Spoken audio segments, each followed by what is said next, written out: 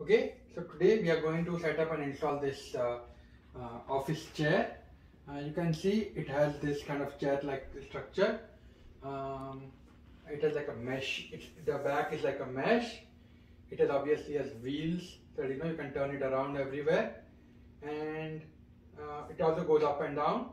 So I'm going to show, show the whole setup to you and then I'm also going to do a review.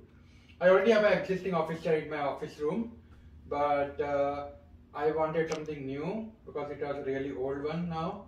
I wanted something, you know, upgrade to something better because now with work from home, I'm spending a lot of time at, at my home. So, yep, I'm going to start, make this, set, this whole thing up and show you how to do it step by step. And then I'm going to review it. Like this, it was in this box. So, you can see everything was packed really nicely. Even this one was packed with a cardboard, which I removed. So now all of these things are, I'm going to open everything and I'm going to show you the next step.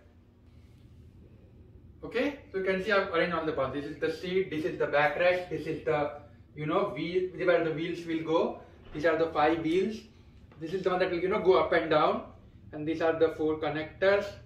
There are uh, four screws in here. And then you have this knob here. So I'm going to start with this one first, right?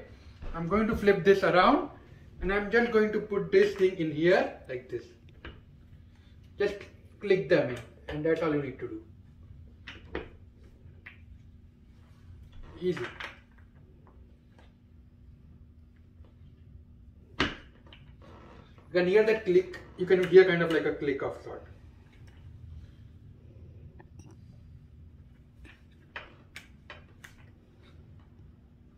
okay let me turn this around. Let's see if this is here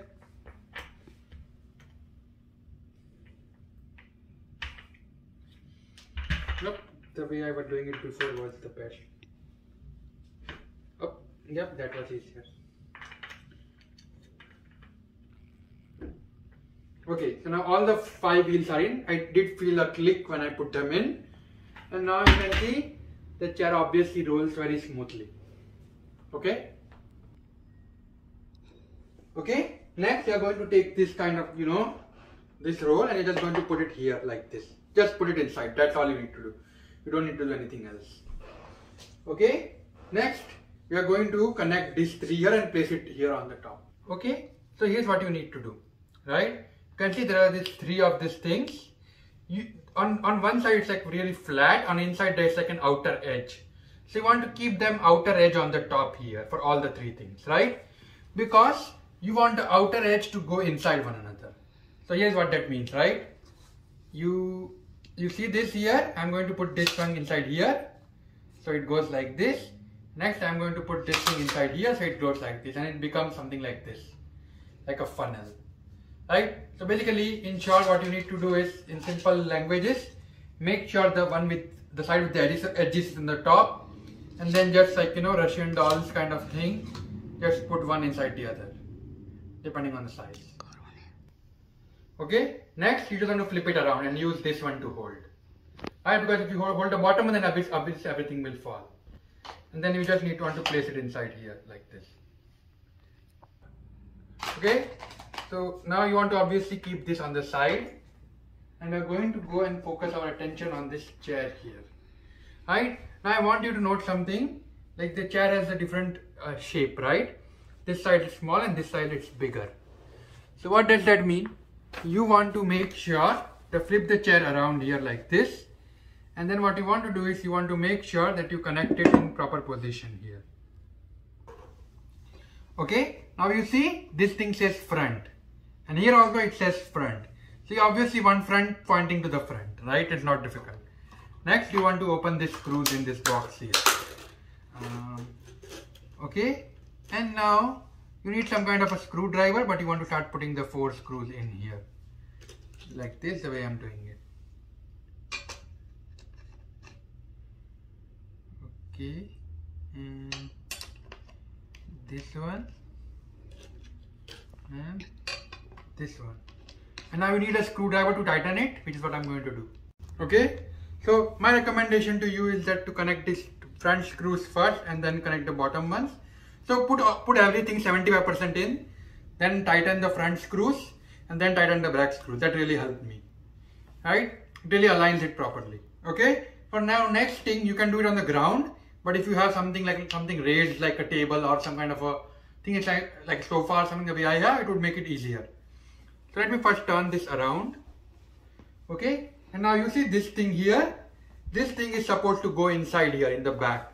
So you see this hole here this is where this thing is supposed to go but in reverse direction so what that means is I don't know if you can see it, but this thing goes inside here like this. So if you are holding it like this, this thing kind of goes inside. Now, which is why now we can obviously can do it something like this, but this is kind of a little bit difficult. So if you do something like this on like a sofa or something, the way I'm doing it right now, it would make your life a little bit easier. Okay? And what you want is, you want, what you want is, you want to take this out from this box here. This ring. You want to put it inside here. And then you want to you can see there is like this this this hole here. You want to put this round thing with the ring inside this hole. So something like this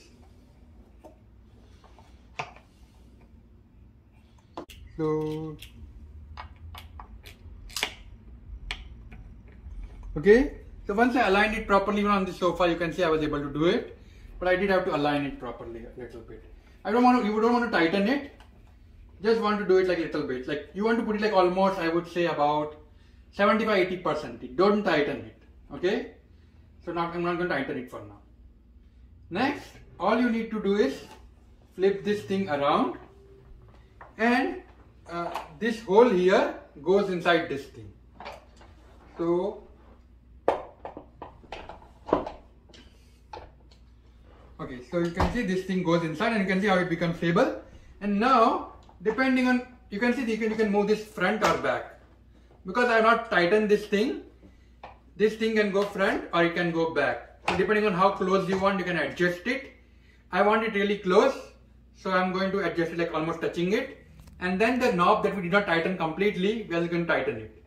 So now I'm going to tighten that knob to like uh, almost like 100%. So what that means is this knob that you saw before, which we did not tighten, we just tightened this thing. That's what I tightened.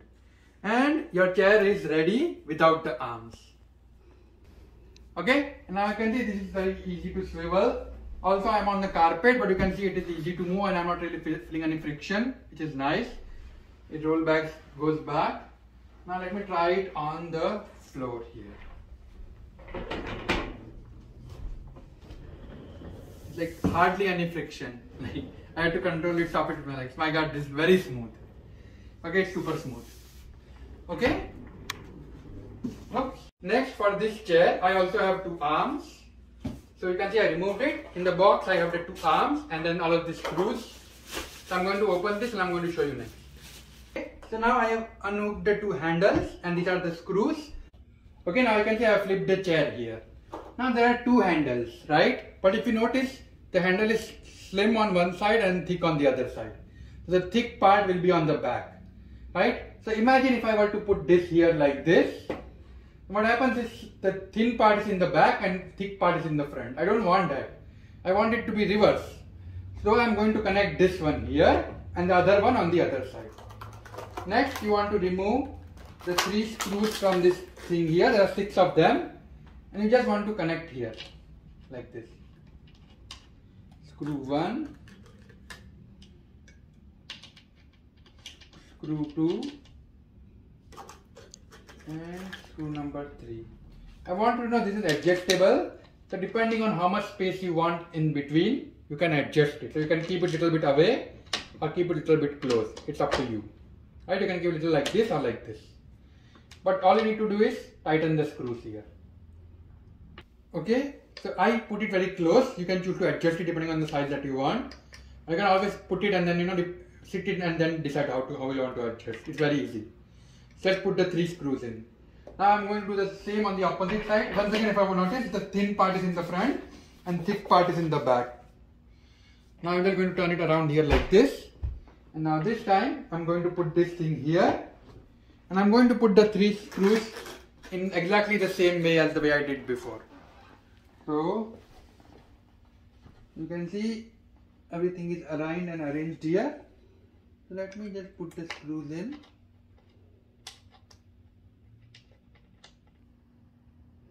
okay so now the chair is ready I put the two connected here and you know uh, the handles are good and depending on your height you might want to raise it or lower it right? So on the left side there is like a button. If you pull it up you can raise it and it locks itself. And to, when you pull it up it unlocks basically. Then you can adjust the height. So I'm doing this on both the sides. And now you can see it's like up to my height. But if, if my wife wants to sit down and you know maybe she wants it a little bit lower you can just pull it and adjust it a little bit. So it's not like uh, two levels but multiple levels. Also uh, if I want to raise the chair up you see this button that we connected here.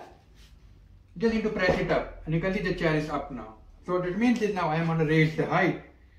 And uh, and now obviously I can move the chair move the chair on front on this carpet easily. And I can lower this thing if I want so they are independent of each other. Uh, the other little nice like you know flex move on the back. And in the back it feels really nice. And sometimes with the chair when there is no mesh your body just heats up your back heats up if you're sitting there in a long time. But because of the man mesh you know heat does not build up as much. So heat you know comes out from your body from your back. So you don't feel as warm. So let me show you the mesh mesh here.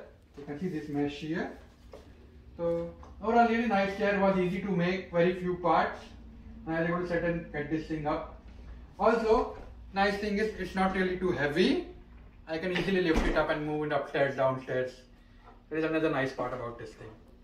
Um, so yeah nice and happy with it. Definitely recommend it to everybody. Okay thank you